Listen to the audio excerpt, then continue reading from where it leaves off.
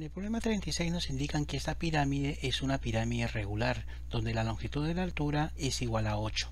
Nos piden calcular el área de superficie lateral de esta pirámide que se encuentra en el interior, donde debes recordar que el área de superficie lateral es igual al semiperímetro de la base multiplicada por la longitud de su apotema.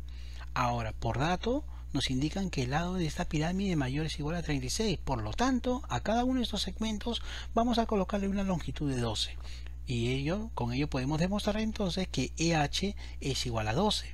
Ahora, si EH es igual a 12, entonces el perímetro de esa región cuadrada va a ser igual a 48 y el semiperímetro entonces sería igual a 24. Si yo trazo desde el punto O una perpendicular hacia GH, este segmento este segmento va a ser igual a la mitad de la longitud del lado del cuadrado y es por eso que le colocamos 6. Si yo uno el punto V con el punto T, este segmento va a ser perpendicular demostrado justamente por el teorema de las tres perpendiculares y la longitud de este segmento que vendría a ser el apotema de la pirámide va a ser igual a 10 ya, sea por Pitágoras o por triángulo rectángulo notable Ahora sí, date cuenta que ya tienes todos los elementos para poder reemplazar al teorema, ¿no?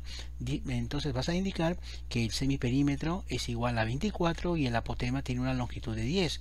Por lo tanto, el área de la superficie lateral de la pirámide sería igual a 240 metros cuadrados.